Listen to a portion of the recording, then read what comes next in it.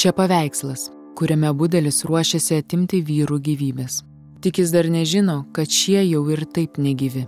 Nauja paroda jautriomis temomis - sunkus amžius. Alina Šapočnikov, Andžiai Vaida, Andžiai Vrublevski. Trijų reikšmingiausių pokario Lenkijos menininkų darbai nuo kovo 20 dienos Mo muziejuje. Organizacinis partneris Adomo Mickevičiaus institutas. Informaciniai rėmėjai. Didysis rėmėjas šviturys nealkoholinis.